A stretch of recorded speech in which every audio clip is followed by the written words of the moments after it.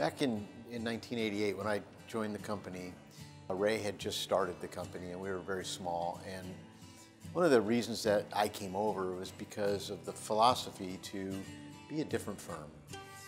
We didn't exactly know how to describe that at the time, but what we knew, we knew what we didn't want to be. We did not want to be a firm that only cared about billable hours. We didn't want to be a firm that, that didn't have relationships with each other and with our clients.